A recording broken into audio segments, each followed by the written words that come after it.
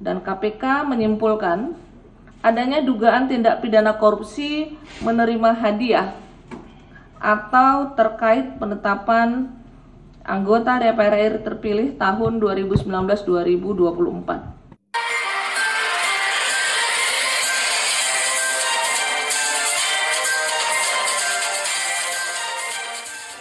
Halo Sobat Inspirasi News, Komisioner KPU Wahyu Setiawan akhirnya resmi ditetapkan sebagai tersangka penerima suap oleh KPK.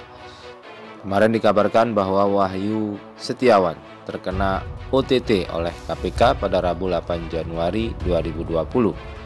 Hal itu disampaikan oleh Komisioner KPK Lili Pintauli Siregar dalam konferensi pers di gedung KPK Kamis malam 9 Januari 2020 menetapkan WSE Wahyu Setiawan sebagai tersangka penerima suap. Begitu kata Lili.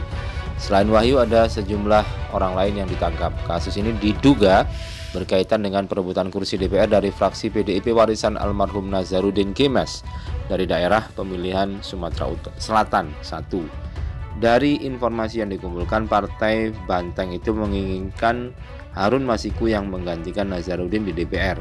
Di sisi lain KPU memutuskan Rizky yang menggantikan Nazarudin melenggang ke Senayan. KPU beralasan Rizky Aprilia pemilik suara terbanyak setelah almarhum Nazarudin.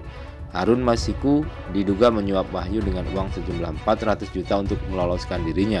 Uang itu diduga diberikan lewat dua perantara yang berinisial D dan S. Informasi yang beredar dua orang itu merupakan staf Sekretaris Jenderal PDIP Hasto Kristianto namun Hasto mengaku tidak tahu dan meminta media menunggu keterangan resmi KPK terkait keterlibatan dua orang itu.